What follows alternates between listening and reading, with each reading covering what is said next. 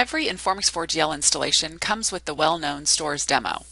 Depending on if you have RDS or C4GL, you will issue either the R4GL demo command or the C4GL demo command. When prompted, choose Y for yes to get the demo programs copied to your local directory. Wait until the demo has been installed and compiled. On Unix Linux platforms, you must set the term and term cap environment variables such as shown here.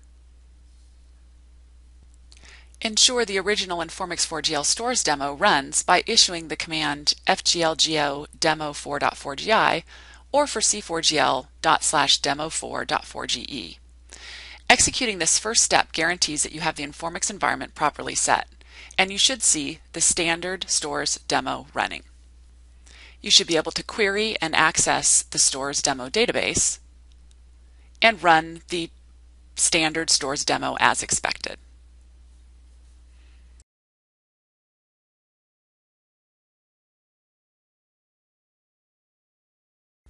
Now let's go ahead and compile. The first thing you'll need to do to compile the stores demo with Genero will be to extract the database schema from the Informix Stores 7 database, so that Genero forms and compilers know how to deal with instructions such as define like. So you'll issue the command fgldbsch space dash db space stores 7. This produces the stores7.sch file containing database column type descriptions and the stores7.att file containing column attributes. Use the fgl2p command to compile the sources so that demo4 can be executed in the Genero runtime system. FGL2p is a shorthand tool to both compile and link 4GL modules. Each module can be individually compiled with the fgl comp command, and modules can be linked with fgl link. If your project is built with Make, it's easy to adapt Makefiles to use Genero compilers and tools.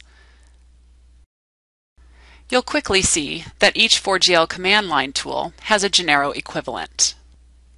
The next step is to compile the form files. On Unix Linux, you can compile all forms in the stores demo with a single shell command as shown on screen, or in MS Windows, there is a DOS command equivalent. Or you can individually compile them with the FGL form utility.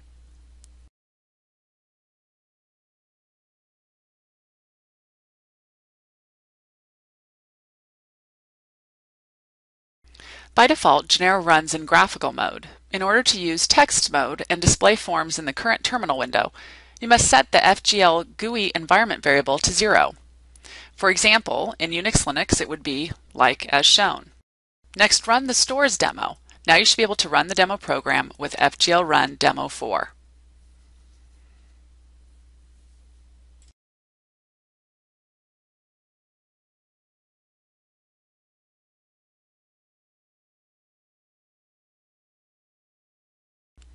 To run the demo application in a graphical mode, you must change the environment settings and start the Genero desktop client. First, set up your environment for the graphical environment. By default, Genero uses GUI mode. Just unset FGL GUI variable that we set prior. Since Genero is client-server based, you'll need to set the FGL server environment variable to identify the host where the graphical front end runs, as well as the TCP port the front end is configured to listen to. The TCP port is specified after the colon by giving an offset on number 6400. So for example, here we are indicating that the front end runs on host Alamo, and the port the front end is listening on is 6400. This is very similar to setting the display variable of an X11 server. Now start the graphical desktop front end, the Genero desktop client, also called the GDC. The GDC renders the application's interface on the display. On Windows, you can run the GDC from the Start menu, and on Unix, make sure you have the GDC environment set and start the front end program with the GDC command. Last, you'll execute the fgl run command as you did before with fgl run demo 4. Now the demo program should display. The default rendering in GUI mode uses proportional fonts and creates individual desktop windows for each 4GL window. This type of rendering is used for applications that have already been enhanced for graphical displays. Note in the application that the semi-graphic boxing is misaligned. To display 4GL unmodified .per files correctly, we'll need to set the GUI mode to traditional, as shown in the next step. It's also important to note that the data on the screen is the color magenta because the 4GL code is using attribute magenta.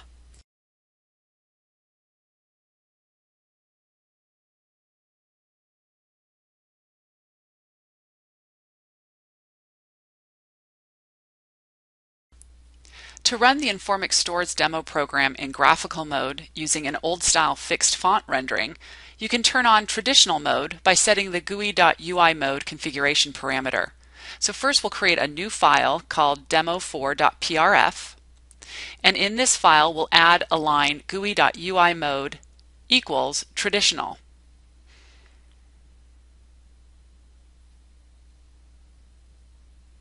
We'll save the file and then we'll set the FGL profile environment variable to point to this file. Now when we run the program, we'll see a traditional rendering. Notice that in this mode, the stores demo adheres to the layout of the non-GUI mode and has correct alignment as you had in the text mode.